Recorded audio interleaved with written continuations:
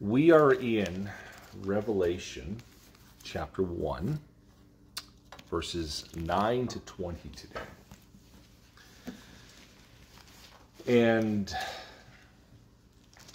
with this, we're going to see that, um, that Jesus told John to write a letter to the seven churches.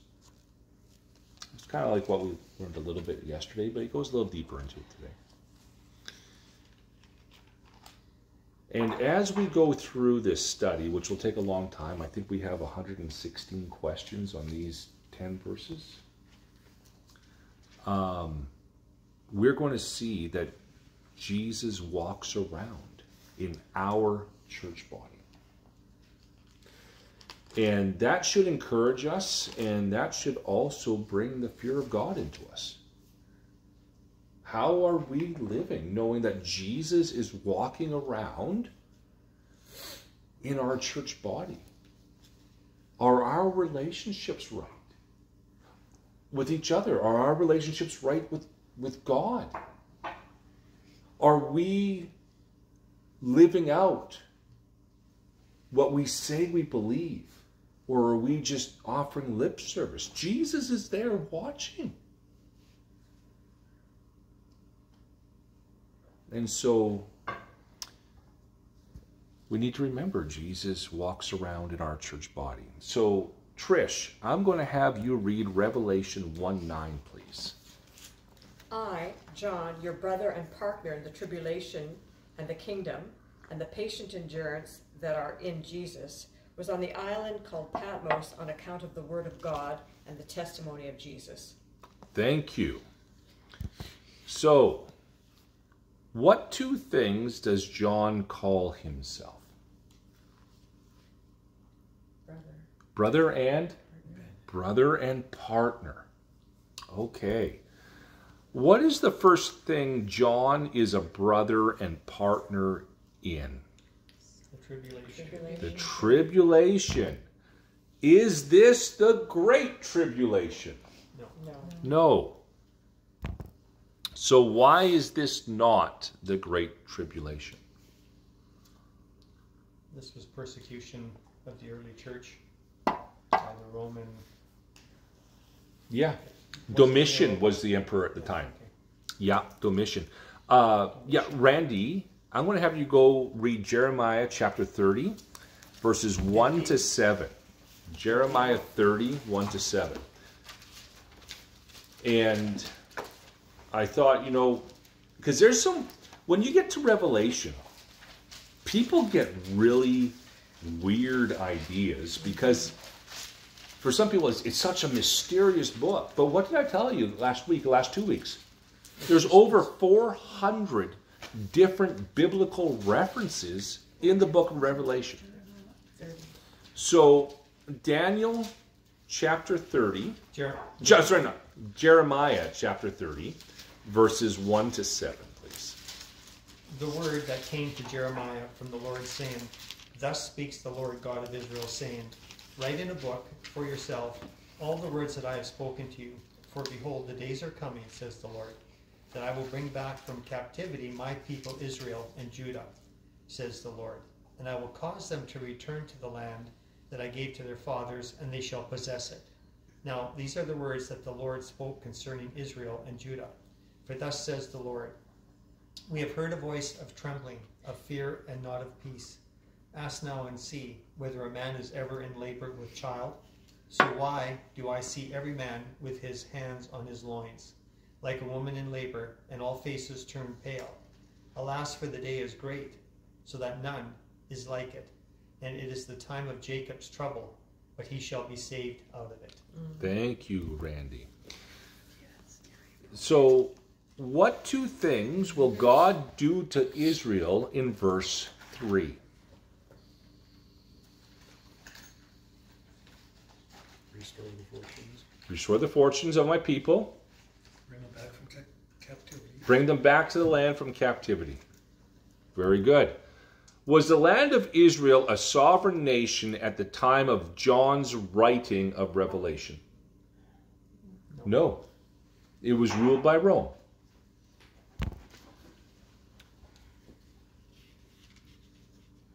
Is there, according to verse 7, is there ever a time like this in all of history?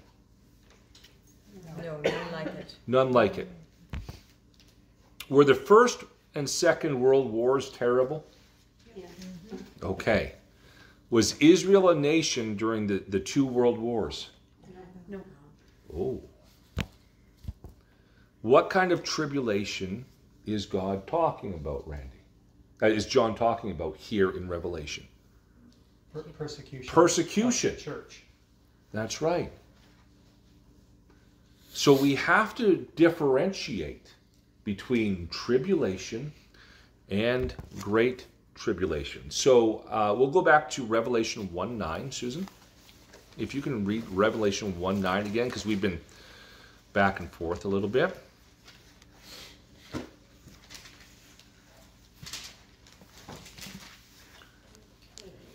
says, I, John, your brother and companion in the suffering and kingdom and patient endurance that are that are ours in Jesus, was the island of Patmos because of the word of God and the testimony of Jesus. Okay. So, what is the second thing John is a brother and partner with? Kingdom. Kingdom. Okay.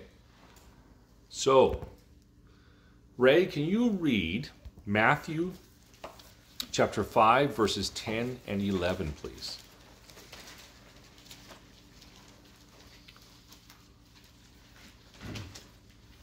Blessed are those who are persecuted because of righteousness, for theirs is the kingdom of heaven. Blessed are you when people insult you, persecute you, and falsely say all kinds of evil against you because of me. Rejoice and be glad because great is your reward in heaven. For in the same way they persecuted the prophets who were before you. Thank you. So, what do those who are persecuted for righteousness' sake get? The kingdom. The kingdom of Heaven. of heaven. Okay, so let's go back to Revelation 1 9. What is the third thing? What is the third thing John is a brother and partner in? Patient endurance. The patient endurance. Ah, okay, Clay, can you read Romans 5, verses 3 to 5, please? We're all over tonight, aren't we, guys?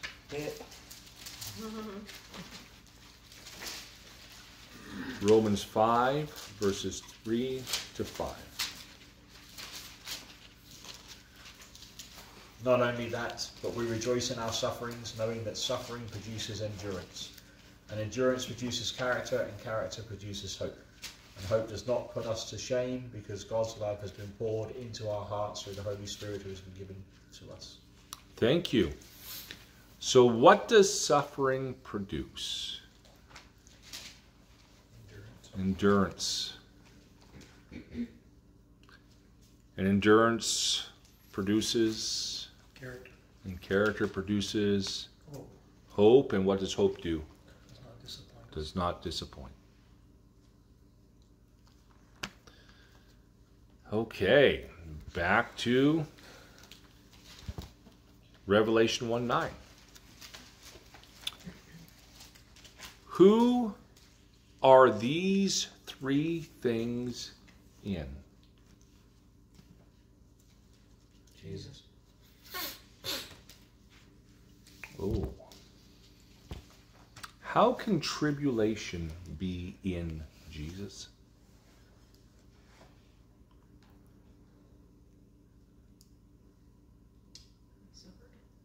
He suffered. But let's think about that. We, we don't think about like Jesus is love and joy and peace and goodness and kindness and gentleness and self control. How can tribulation be in Jesus? He suffers when we suffer. Okay. He was persecuted. He was persecuted. You guys are having great answers tonight. Whose turn is it today? Lisa, Daniel. I would like you to read Daniel chapter 3, verses 24 and 25. Now, just to give you context, this is Shadrach, Meshach, and Abednego. The story of the fiery furnace. What verse is Jason? Ma'am? What verse is that? Uh, Daniel chapter 3, verses 24 and 25.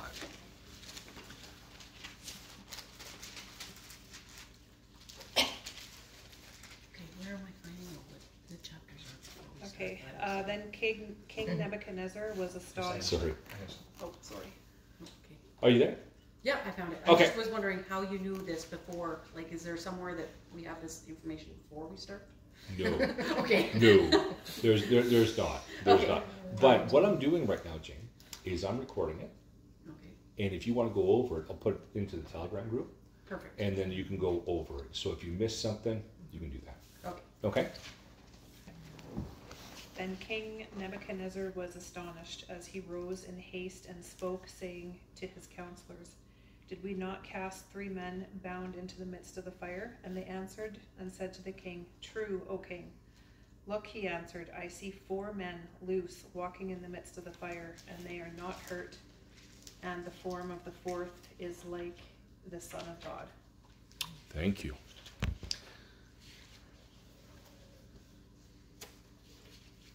How many men went into the furnace? Three. Three. How many men did Nebuchadnezzar see? Four. Now, let's look at this very clearly. Were they in Jesus or were they with Jesus? They're with him. So, are they going through tribulation? Yes. So, we need to ask that question again. I want to give you an Old Testament idea. They weren't in Jesus, they were with Jesus. Rob, John 17 20, please.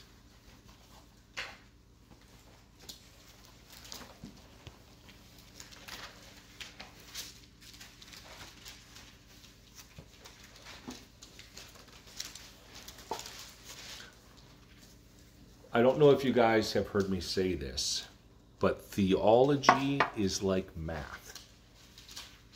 Okay? If you are in high school arithmetic, uh, high school math or calculus or university math or calculus, what does your professor tell you to do on any test? Show your work.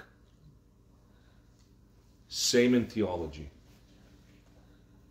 You have tough questions. You need to study. You just can't come out willy nilly and say, This is the answer. You might be right. But show your work. Treat theology like calculus. Okay? Or maybe not that far down. Maybe, maybe, yeah. Maybe just regular algebra. Okay, go ahead, Rob. 1720. Yeah. I do not ask for these only, but also for those who will believe in me through their word.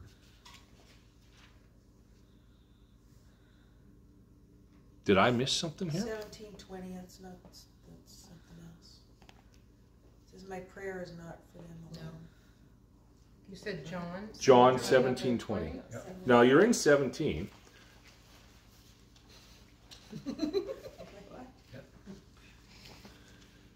Are you reading from the Apocrypha?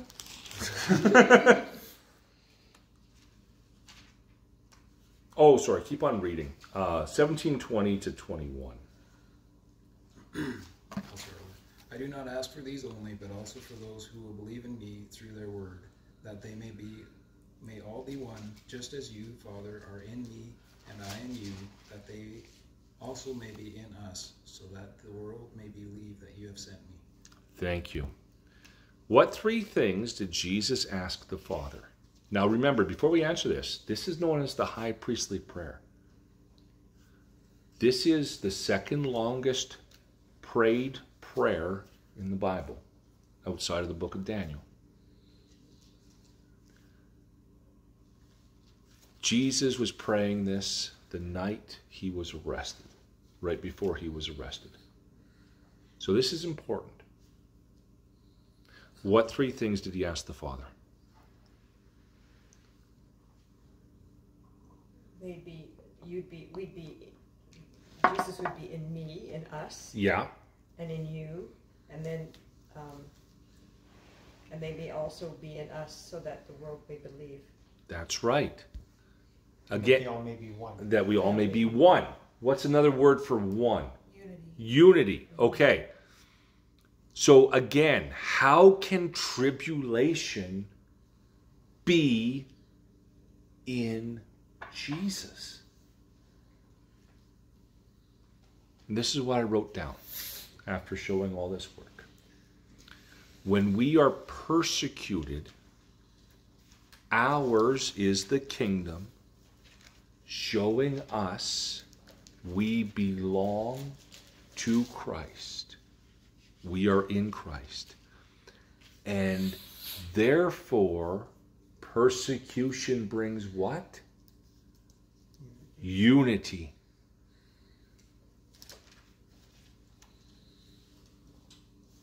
Let's go back to Revelation 1 9. We're still in the first verse, eh? Okay, Tracy. Uh, can you read Revelation 1 9 again, please, Tracy?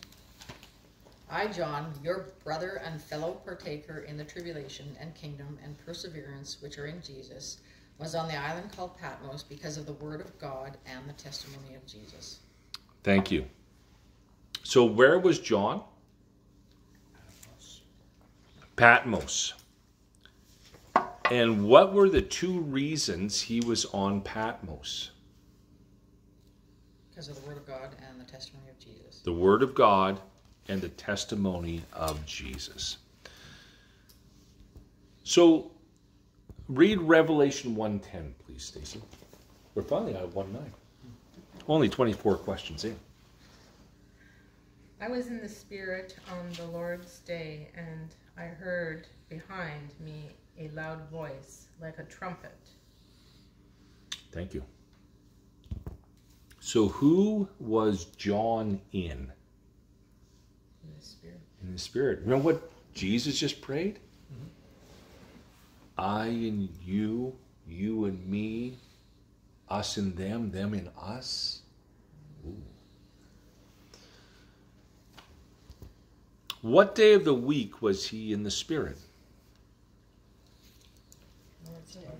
The Lord's Day. What day of the week is that? Sunday. Sunday. Why is it Sunday? You guys know? First day of the week. First day after the uh, for the, The, the day of the resurrection. The Sabbath is Saturday. Lord's Day is Sunday. Very good. Who else was he in in verse 9? Go back to verse 9. Who else was he in?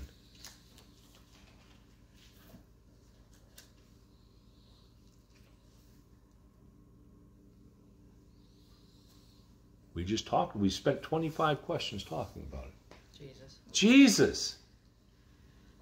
So he's in Jesus and he's in the Holy Spirit. Is Jesus' prayer coming true from John 17? And what was John doing?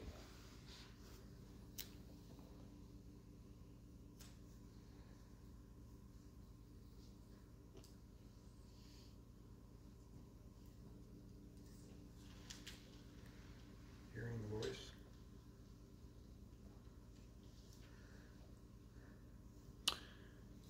So if he's with, I would say he's worshiping. he's worshiping.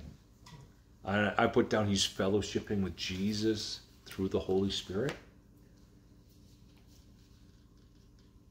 Remember last week said that church history tells us before he went to Patmos, Domitian tried to have him boiled alive in hot oil. And now he's on this cold, humid, cold, windy, rocky island where you can imagine how his feet might have had third degree burns. And his skin is can't sweat anymore because the sweat glands are gone and maybe he's crippled up because he's an old man and he is worshiping and fellowshipping with Jesus in a very intimate time. What what did John hear? Is that what he says? Voice. Heard a voice? A voice like a trumpet. Okay, Jane, Revelation 1:11, please.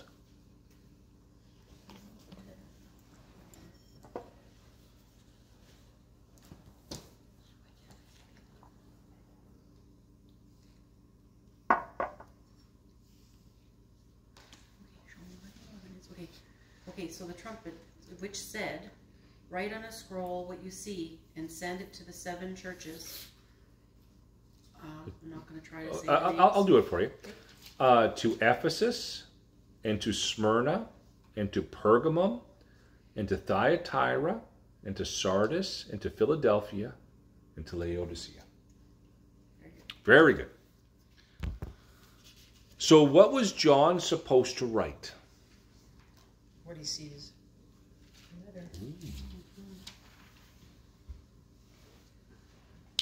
What he sees. What was he to write it in? Scroll. Does yours say a scroll? Yep. Okay, mine says a book. Mine says the book. Okay, so either a book or a scroll. Okay. Who was he to send the book to? The seven churches. The seven churches. And what were the names of the seven churches? Ephesus. Yeah. Smyrna, Smyrna. Pergamum, Yeah. Thyatira, Thyatira. Thyatira. Sardis. Sardis. Philadelphia. Philadelphia. Laodicea. And Laodicea. Very good. My turn. 112. Then I turned to see the voice that was speaking to me. And on turning, I saw seven golden lampstands. We're going to spend a lot of time here. What did John do? Turned. He turned to See the voice. to see the voice. Why did he turn to see the voice? To see who was speaking to him. And why? It's a normal thing to Because do. you're all alone on an island, and you hear a, a loud voice like a trumpet. I guess you would be startled Right. and want to know what's going on. He's been commanded to. Got it. He's been commanded. Write down what you see, because before that, it's only what he heard. He would. Do you guys see the Specificity? specific? Yeah, I, I can't even say it. Specificity and almost, can I say it like this? Militant obedience. Like snap to attention, I'll do it now. Of John. Not, "Ah, okay, I'll think about it. Let me have a coffee and I'll get to it. Right now.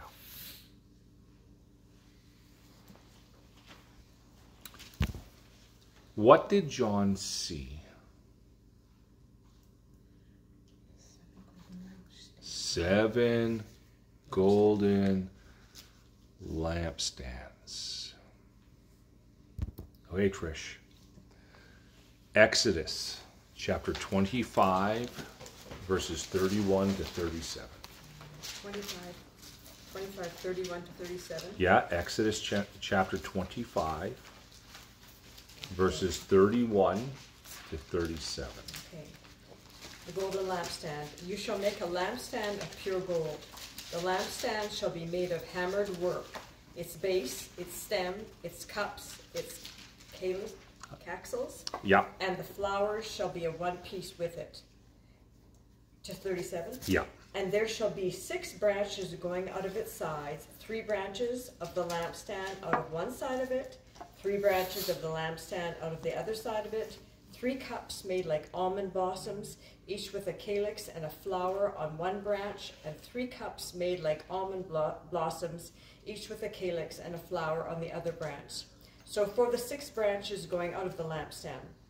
And on the lampstand itself, there should be four cups made like almond blossoms with their calyxes and flowers, and a calyx of one piece with it under each pair of the six branches going out from the lampstands.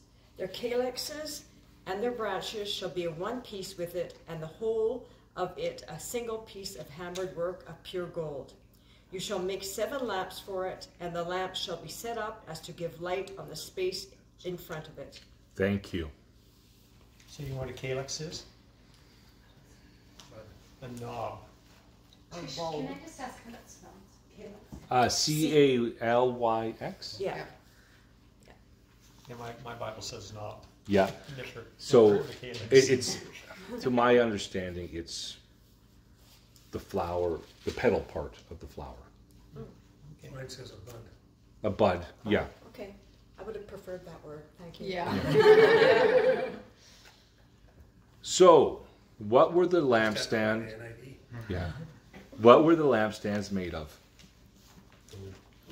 What kind of what kind of gold? Pure hammered gold. How many candles on each lampstand? Trick question. Two. Nope. Seven. Seven. Three on one side, three on the other, and one in the middle. How many lampstands was Moses to build? Seven. Seven. Randy? Exodus 40, verse 24, please. 40, 24. Remember when I told you over 400 references? 27? 24, 40, 24.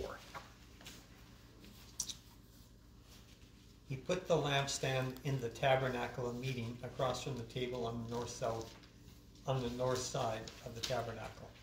Uh, go, go to 25 also. And he lit the lamps before the Lord as the Lord commanded Moses. Thank you. Yours says north? Yeah, mine says south. Yeah, mine South side. Did I say north? Yeah. Oh, It's mine says south as well. Okay. Are you sure?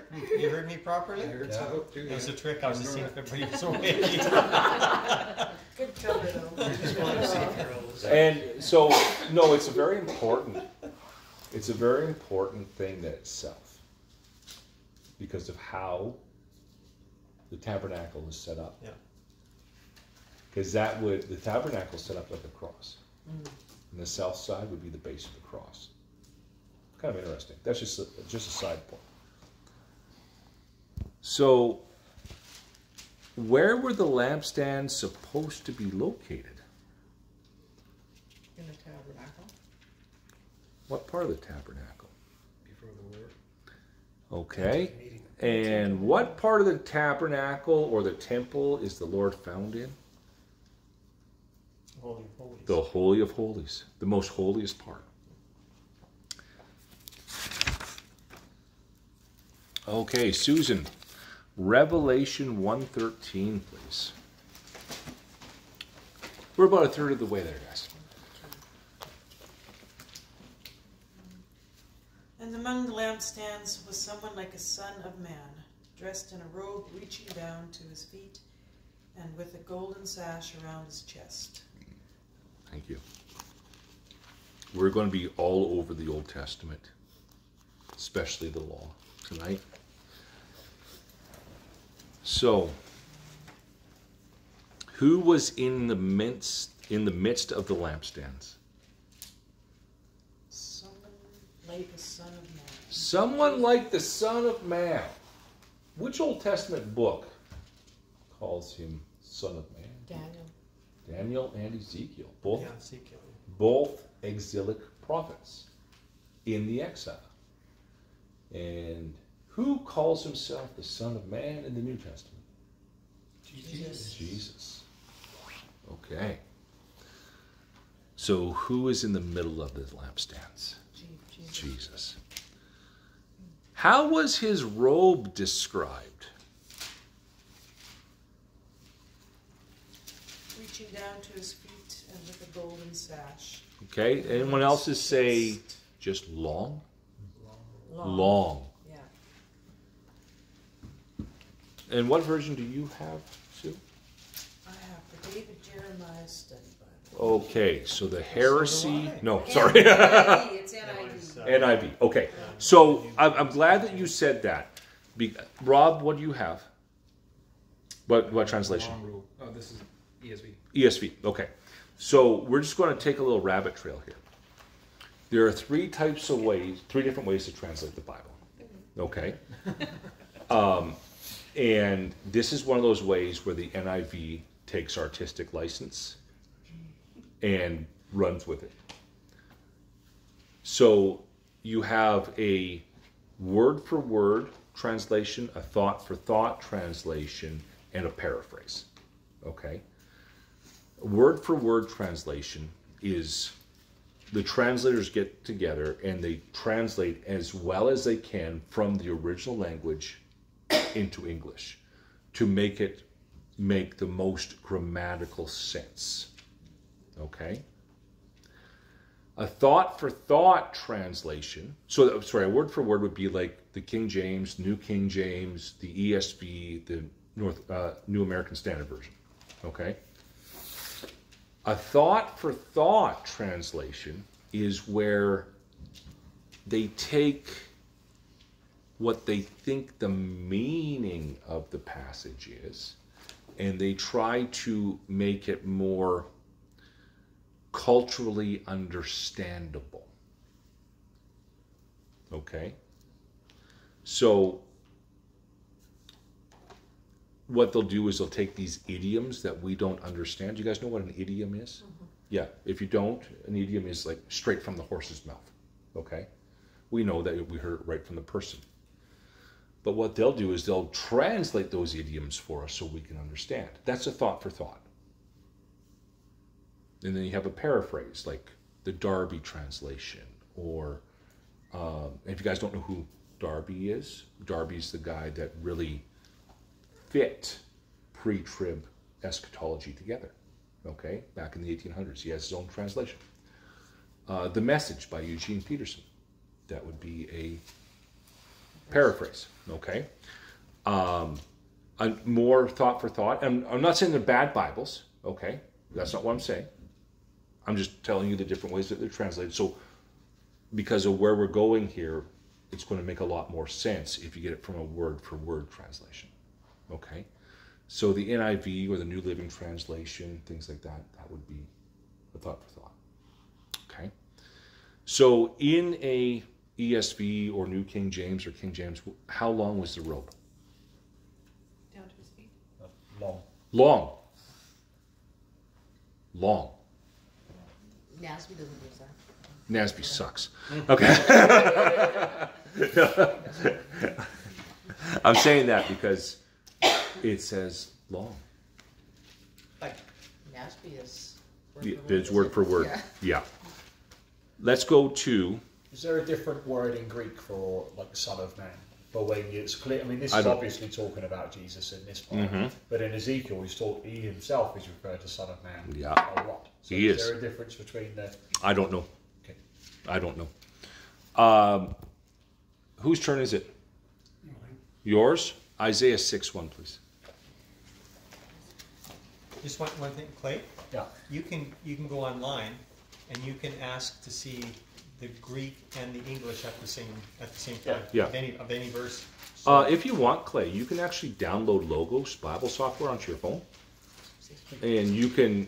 I think there's a free version. Yeah. Yeah, Isaiah six one.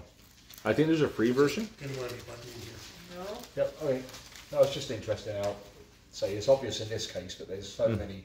Mhm. It says in here that Ezekiel's referred to the Son of Man 93 times. Mhm. So, seems like a, quite a common phrase. Is that the MacArthur? Uh, no, this is the um, the Crossway ESV. Okay.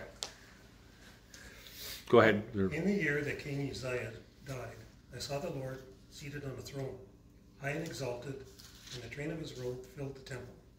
Thank you. So, what was unique about the Lord's robe in six one? It filled the temple. It filled the temple. Um, would that be a long robe? It's a long robe, Long and wide. long and wide.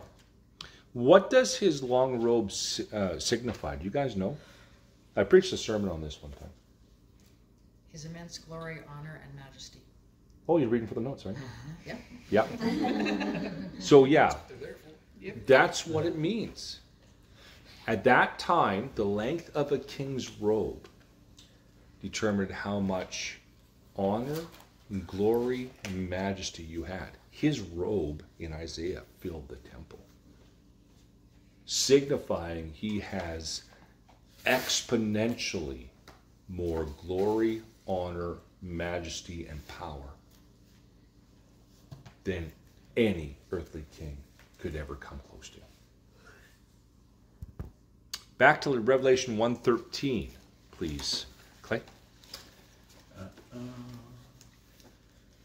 Uh, 113, okay, I thought we just asked it. Okay. Yeah. And in the midst of the lampstands, one like a son of man, clothed with a long robe and with a golden sash around his chest. Thank you. What was around his chest? Golden sash. A golden sash. So why around his chest and not his waist? Something to do with his heart. Yeah. Has to do I'm just, I can't back it up. I guess. Say that now. Okay. Okay. has to do with- Uh. Lisa, let's go back to Exodus 39, 1 and 2.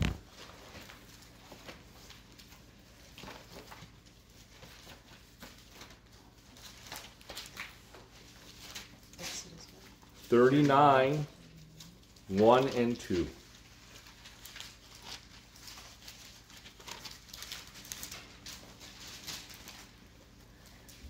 Of the blue, purple, and scarlet thread, they made garments of ministry for the ministering in the holy place, and made the holy garments for Aaron as the Lord had commanded Moses.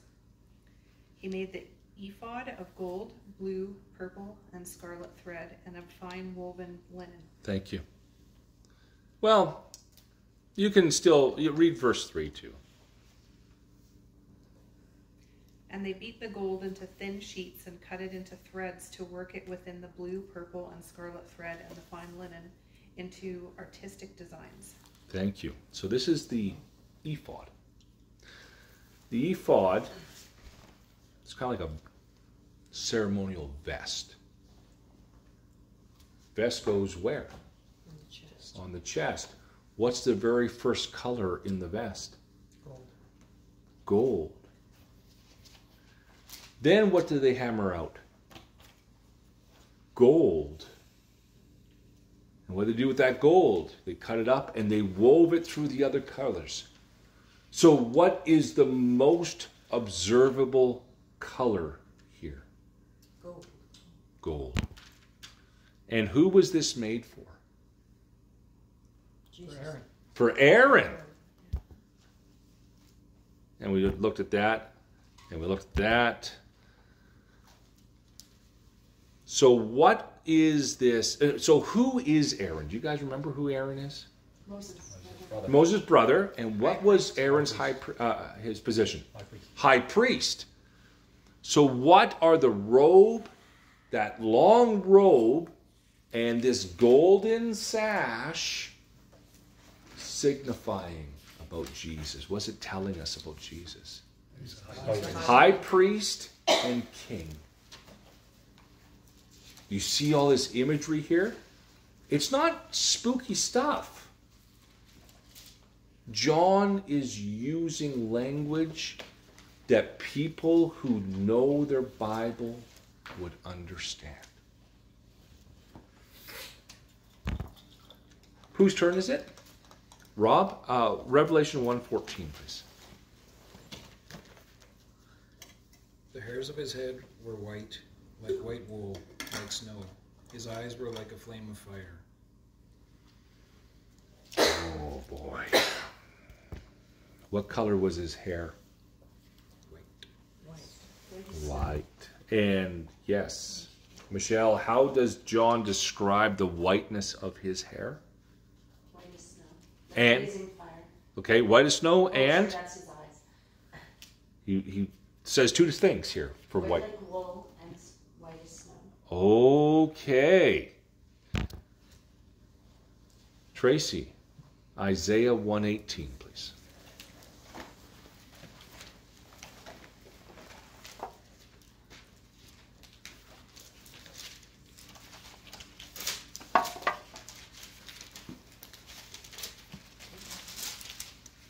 Come now, and let us reason together, says the Lord. Though your sins are as scarlet, they will be as white as snow. Though they are red like crimson, they will be like wool. Ooh. So, what will the Lord do to our sins? Make them white as snow And? white wool. Oh. And what is the color of his hair in Revelation 114 telling us about Jesus? He is a hundred percent pure, sinless. Back to Revelation 114. What were his eyes like? Fire. Flames of fire. Like flames of fire. Uh, Stacy, uh, Malachi 3 2 to 3. If you guys don't know where Malachi is, turn to the book of Matthew and turn one book to the left. It's the last book in the Old Testament. Malachi what? Chapter 3, verses 2 and 3.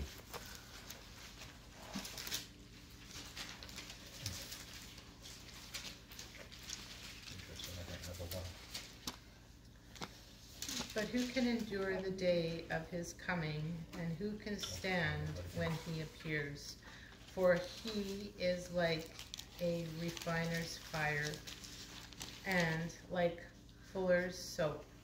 He will sit as a refiner and purify, purifier of silver, and he will purify the sons of Levi and refine them like gold and silver, and they will bring offerings in righteousness to the Lord. Thank you. So, what day is he talking about? Day of his coming. The day of his coming. Who's coming? Christ. Christ's. What is the book of Revelation about? Revelation 1 1 tells us. Revealing Christ. The revealing Christ. Very good. So, what will he sit as? A smelter and purifier of silver.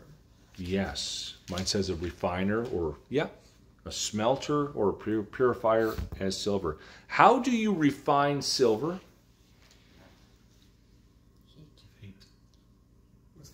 Fire. What kind of silver will it be?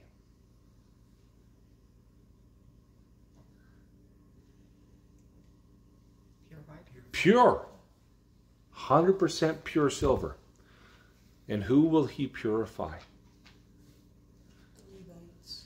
Sons of Levi. Son, sons of Levi. What tribe do priests come from? Levites. Levi. Levi. What does 1 Peter 2 9 say about the church? We are a royal. Priesthood. Priesthood. Oh, isn't that interesting? Let's go back to 114, Revelation 114. So, why are his eyes flames of fire? They're pure. Um, who can read Proverbs 30, verse 17? And then, Jane, I'll have you go to Matthew 6, 22 and 23. And yeah, Trish, I'll have you read Ma- uh, Proverbs 30, 17. Trish will go first. Let me find it. It's after songs. I need that. I have to find songs. Earwax first just shot out and almost hit Susan. of all. Know-it-alls. What was it, 30? 30, verse 17.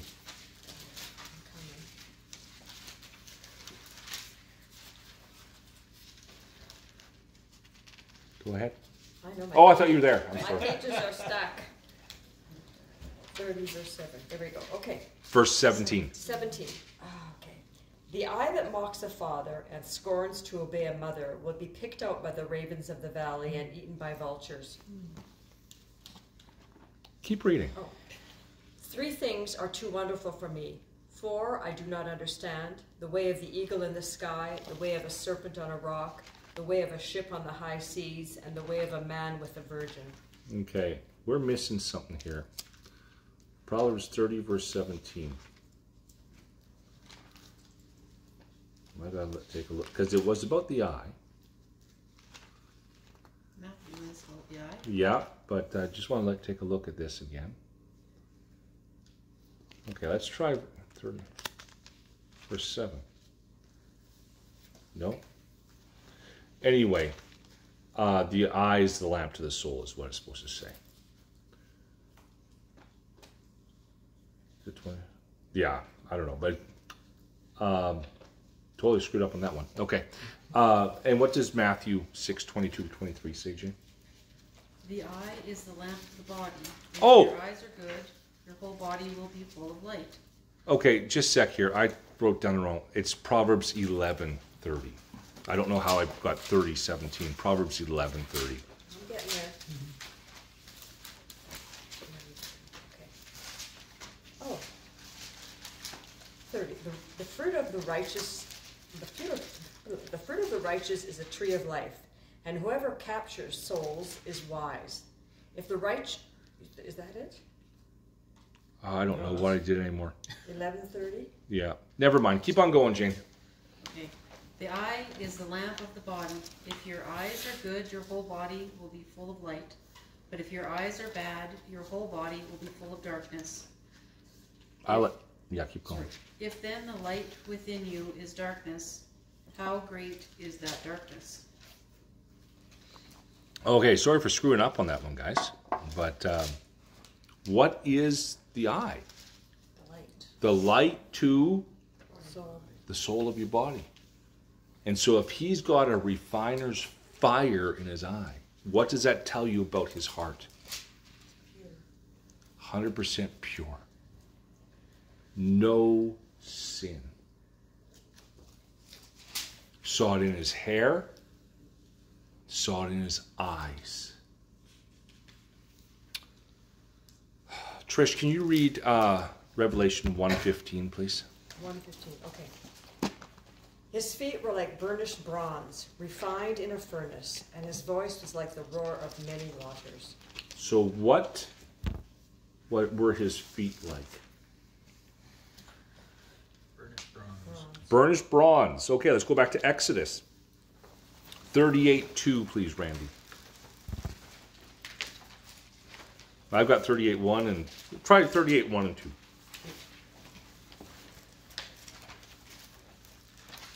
It's like the Genesis. You two are great. Yeah, 38 1 and 2. He made the altar of burnt offering of acacia wood. Five cubits was its length, and five cubits its width. It was square, and its height was three cubits. He made its horns on its four corners. The horns were of one piece with it, and he overlaid it with bronze. Thank you.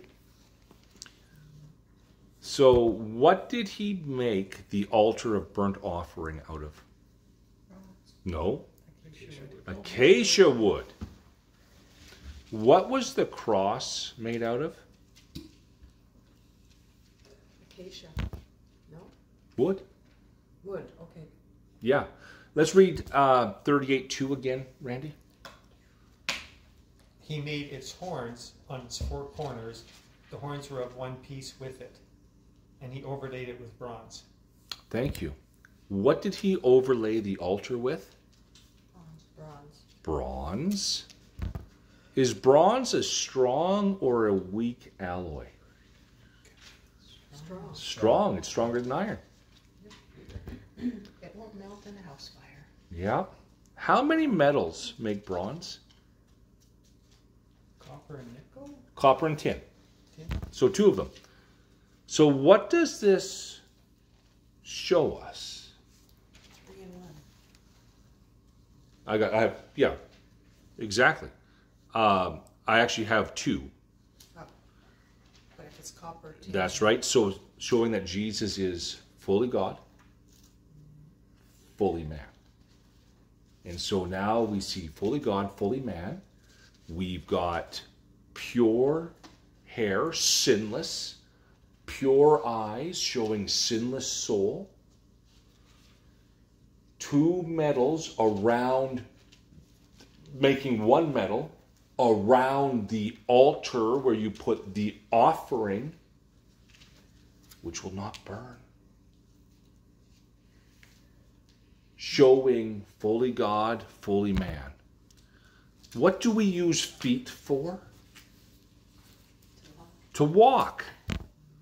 So let's go back to Revelation 115.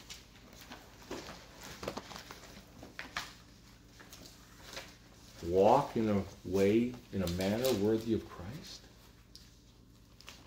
Walk this way. Uh, yeah, Sue, if you can read Revelation 115. His feet were like bronze glowing in a furnace, and his voice was like the sound of rushing waters. Thank you. What was his voice like? The sound of rushing waters. Okay. Ray, can you read Psalm 93, please? The whole psalm. Read the whole psalm, Ray. We'll be here like 30 minutes. It's a short psalm, Ray. Psalm 93.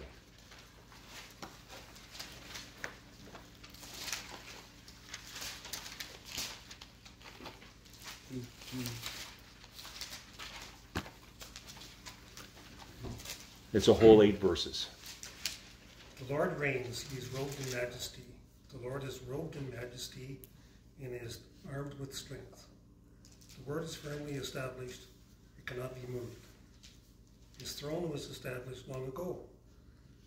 You are from all eternity. The seas have lifted up, O Lord. The seas have lifted up their voice. The seas have lifted up their pounding waves. Mightier than the thunder of the great waters mightier than the breakers of the sea. The Lord on high is mighty. Your statutes stand, stand firm. Holiness adorns your house for endless days, O Lord. Thank you. So, what is the sound of his voice greater than?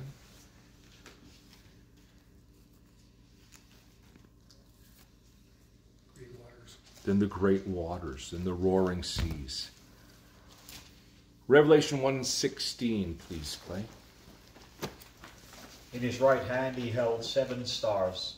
From his mouth came a sharp, two edged sword, and his face was like the sun shining in full strength. Thank you. What was in his right hand? Seven stars. Seven stars. What came out of his mouth? Sharp sword. A sharp two-edged sword. Lisa, Hebrews 4.12, please.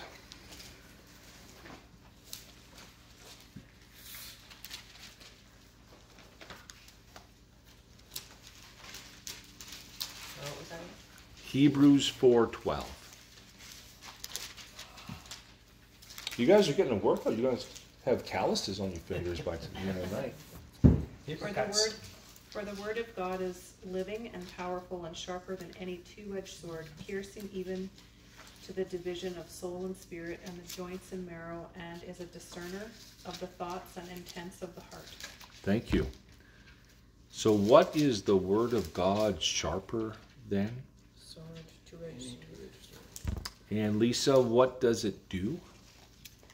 It uh, pierces even into the division of soul and spirit and joints and marrow, and And- it discerns your thoughts and intents of your heart.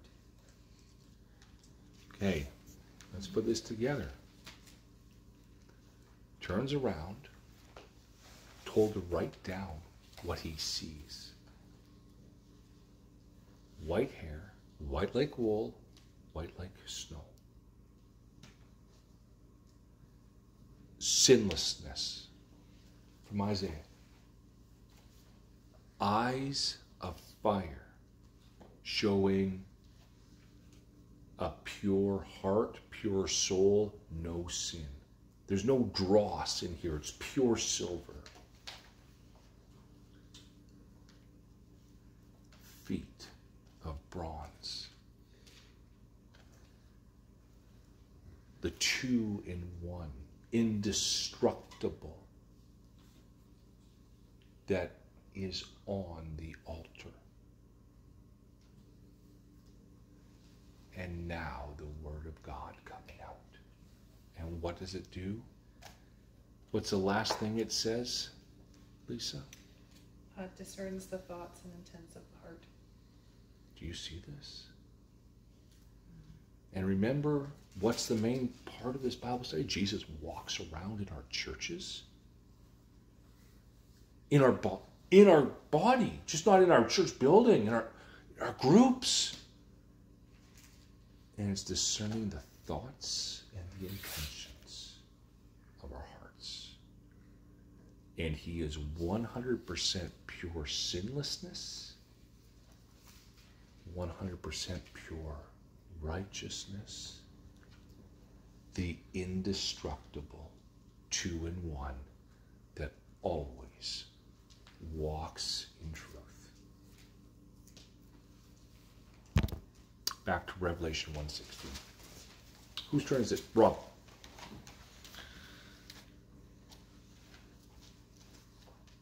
Oh, yeah, okay. Rob, 116, please. Yeah. In his right hand he held seven stars. From his mouth came a sharp two-edged sword, and his face was like the sun shining in full strength. Great. What was his face like? Sun Sun like what? shining in full strength. Okay, back to Exodus 34 29.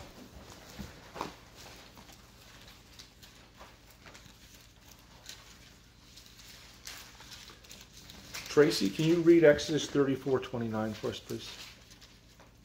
It came about when Moses was coming down from Mount Sinai, and the two tablets of, of the testimony were in Moses' hand, as he was coming down from the mountain, that Moses did not know that the skin of his face shone because of his speaking with him. Yeah, speaking with God is, is the hymn.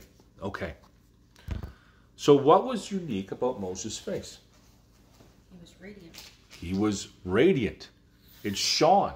And if you read down further, people were scared of him because his face was so bright. It wasn't like he had a happy glow on.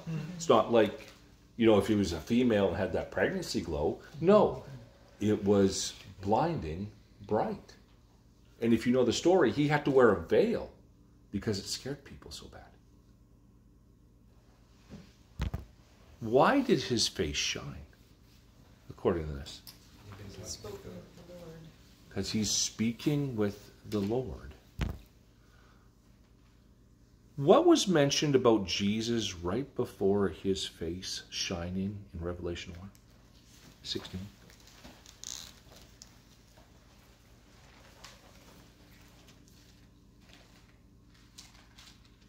Two-edged sword. A two edged sword. And what does the sword represent? Word of God. The Word of God. So, why is Christ's face shining like the sun. Just Because he's he's speaking to God. Because he's speaking the word of God. Mm-hmm. 100% sinless perfection in the hair. The eyes show the 100% purity of his soul and heart. The burnished bronze show the two in one on the altar. His feet show the lifestyle. This is how he is. The Word of God comes out, and because the Word of God comes out of who he is, his face shines brighter than the sun. Are you guys starting to see who Jesus is? He just isn't some religious guy that was nailed to a cross. This is the one who was nailed to the cross.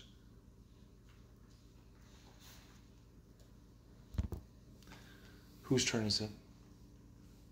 Me. Okay, uh, ver, uh, Revelation 1 17 and 18, please. Now, when I saw him, I fell at, at his feet as though dead. But he laid his right hand on me, saying, Fear not, I am the first and the last, Verse 18. and the living one. I died, and behold, I am alive forevermore, and I have the keys of death and Hades. Thank you. What did John do when he saw Jesus? Fell. Fell down Dead. as dead. Was John moving? You have a little itch behind his ear and oh, I gotta get this? Mm-hmm. Was he petrified? Are you guys starting to see a little bit more of who Jesus is?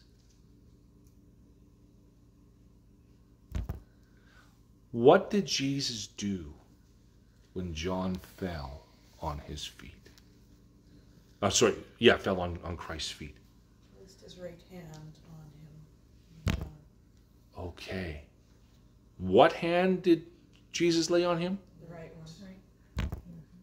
What did Jesus have to take out of his right hand in order to put his hand on John? Seven stars. It doesn't say he put him down, so they must be in his left hand now. That's very important. He put his right hand on John. What does this tell us about the love that Jesus has for John?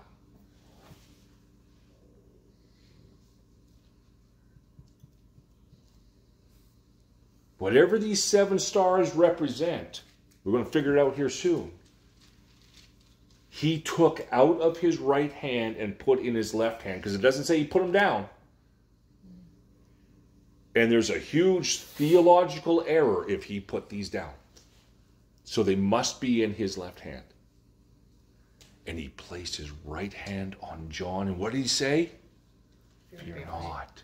What does this tell us about Christ's love for John? He's putting him as a first. Yeah. What did Jesus tell John not to do? Do not be afraid. Do not be afraid. Why did Je- uh, who did Jesus say he was? First and the last. And the living one. And the living one.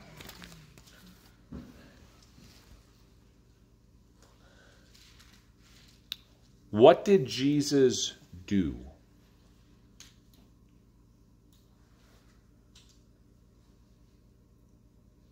Right after the living one. Well, he He died, I died. but he's still alive forever. That's right. What is Jesus forever? He's alive forever.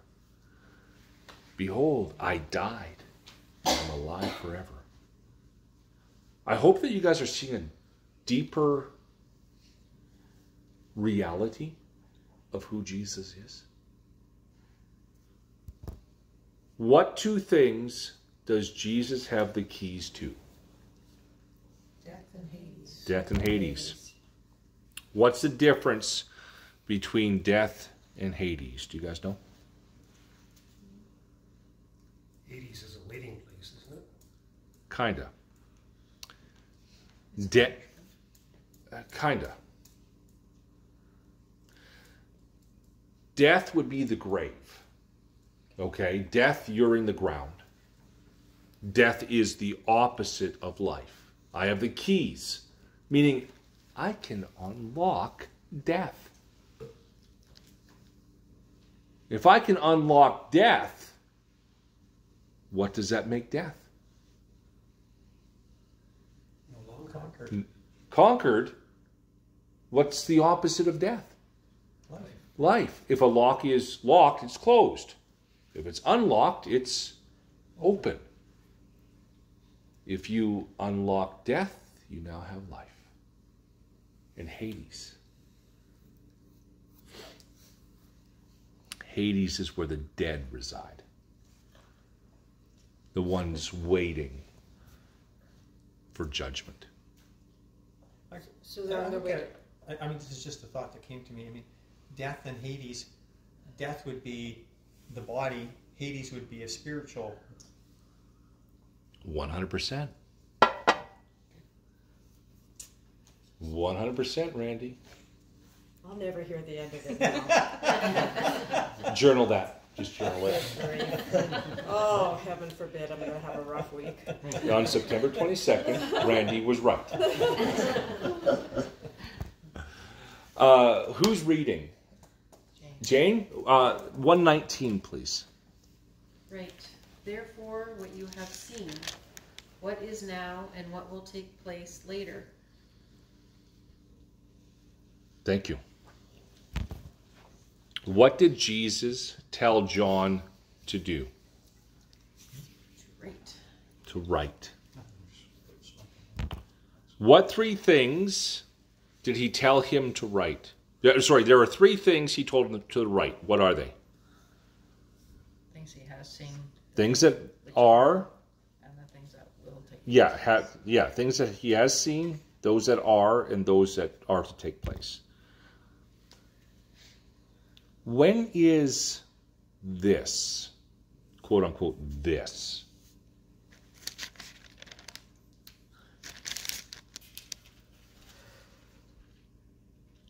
When it says that those that are to take place after this, when is this?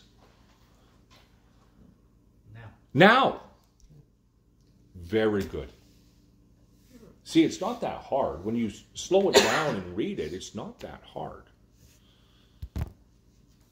Okay, Trish, 120, please. As for the mystery of the seven stars that you saw in my right hand, and the seven golden lampstands, the seven stars are the angels of the seven churches, and the seven lampstands are the seven churches. Thank you. So, what are the seven stars? Seven churches. Nope. They're the pastors. Uh, is it? Does it say pastors? No, but that's what it- it's the, messengers. messengers. 'Cause they're- Messengers. Yeah, it says angels, right? Yeah. And the, the definition of an angel is a messenger. Right? What does angel mean? Messenger. Okay. Randy, Daniel 12, 3, please. Ooh, we're about to get into some really good stuff now. If it hasn't been good already. Hope you guys aren't bored. I know. Uh, Daniel 12, 3. Those who are wise shall shine like the brightness of the firmament, and those who turn many to righteous, and those who turn many to righteousness, like the stars forever and ever. Thank you. What will those who turn many to righteousness look like? like like stars. So how do you turn many to righteousness? Witness. Share the gospel. Witness, share the gospel. Why was Paul at Patmos? On account of the word, on account of the witness and the word. Is the gospel a message? Yes. Yes. And what is Jesus holding in his right hand? The seven stars.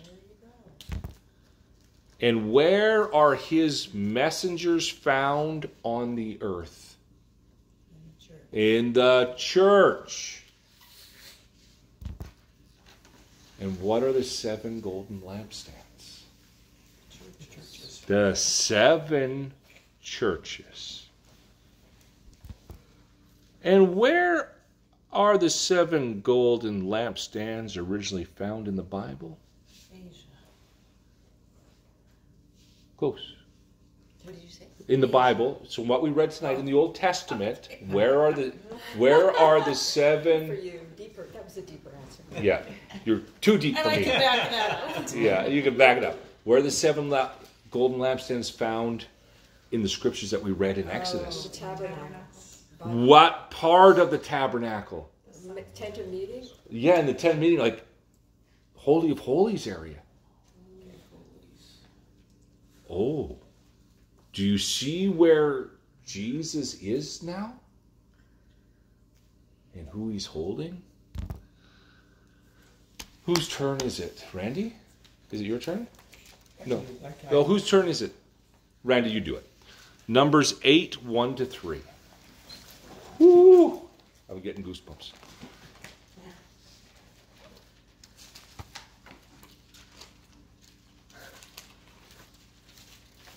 Uh, Eight what? Verses 1 to 3. Probably should have been Susan, but I'll, I'll do it for her. Okay. And and the Lord spoke to Moses, saying, Speak to Aaron, and say to him, When you arrange the lamps, the seven lamps shall give light in front of the lampstand. And Aaron did so. He arranged the lamps to face toward the front of the lampstand, as the Lord commanded Moses. Okay. Thank you.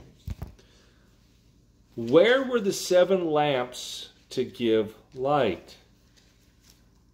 In the front of them. In the front of what? Lamps. The lampstand. Okay. Therefore, where is the lampstand? In the Holy of Holies. Okay. Where were the seven lampstands supposed to be? Just across from the tabernacle. Well, no, like, what does this say in Numbers? Show our work. In front. In front. So where is the singular lampstand?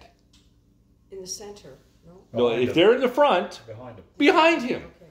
behind the seven lampstands.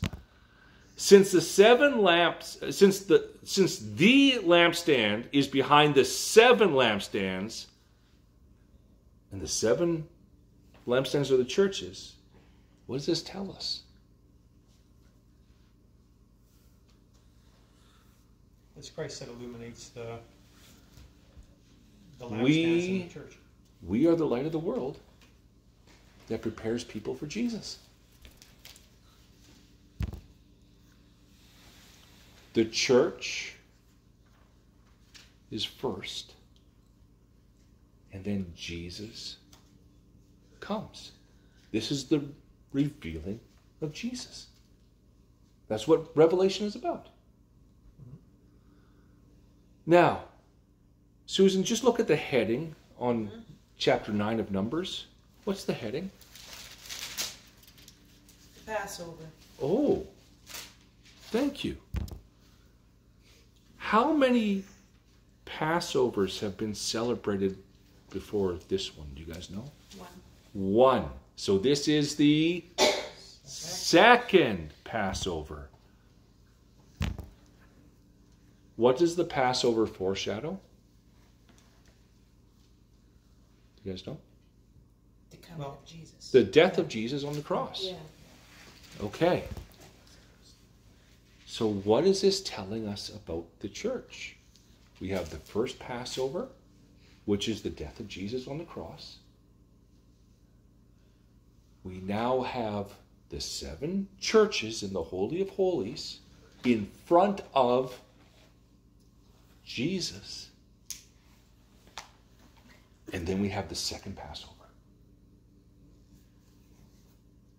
What's this telling us about the church?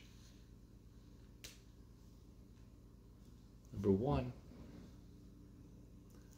we proclaim Christ. That's what we do. We are the messengers.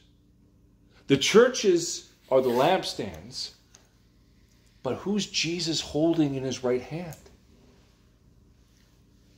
Not the churches, the, the messengers. You notice when Jesus put his right hand on Paul, uh, not on Paul and John, doesn't say he put the, the stars down, so he must have put the stars in the left hand. Meaning, when Jesus grabs a hold of you, he's not letting you go. He's not. But what are the seven stars? Messengers. Remember what we talked about last, last week? Are you a messenger or are you just an attender? Let me put it this way Clay and Lisa came out to the campground, well, to the golf course out in Waterton. Clay is a much better golfer than I am.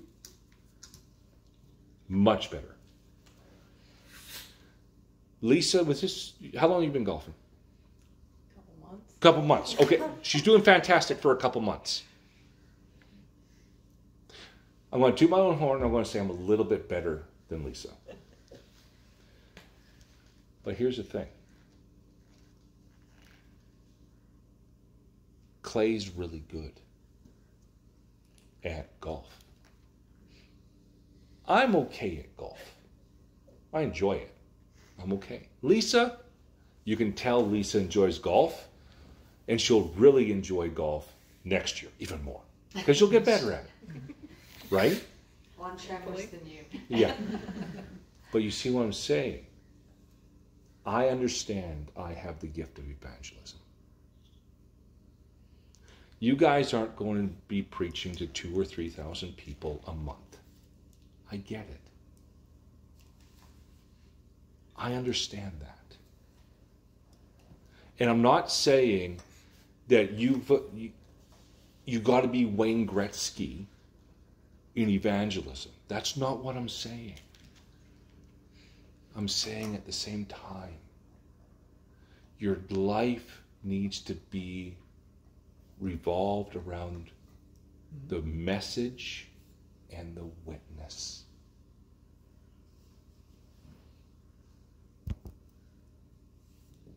Was the church always part of God's plan?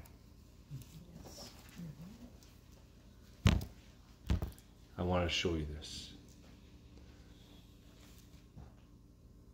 First Passover, Jesus Christ. Seven churches proclaiming Christ. And what comes next? Why did God put it just like that? The second coming of Jesus Christ right after that. If you look what's in between, I got so excited I didn't write the rest of it. After this is the consecration of the priests. After this lampstand placement is the consecration of the priests. The church needs to get out of the way before Jesus returns. Yay. It's really kind of interesting. But that doesn't happen until Revelation 4. It's just foreshadowing. Foreshadowing Revelation 4. So, conclusion. Number one persecution will prove we are kingdom worthy and Christ will give us endurance to persevere through it. Number two, being a faithful witness and preaching the gospel will bring persecution. Number three, persecution unifies the church. Number four, we have fellowship with Christ and the Holy Spirit because we are in them and in Him. I don't know how to say it because three in one, right? Mm-hmm. The church is in the throne room of God, the seven lampstands. That's why Paul says we can boldly walk into the throne room of grace because we're already there. We're one of the seven lampstands.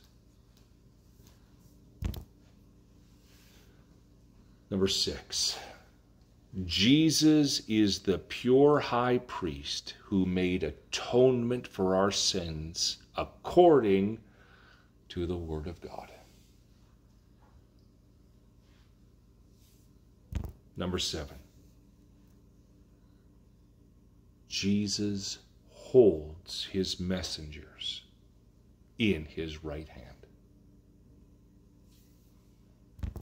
Number eight, Jesus holds us and he can tell us not to fear because he holds us. Number nine, the church was always part of God's plan. And number 10, Jesus walks around in the church. Are we loving are we loving in a are we living in a way that will please him?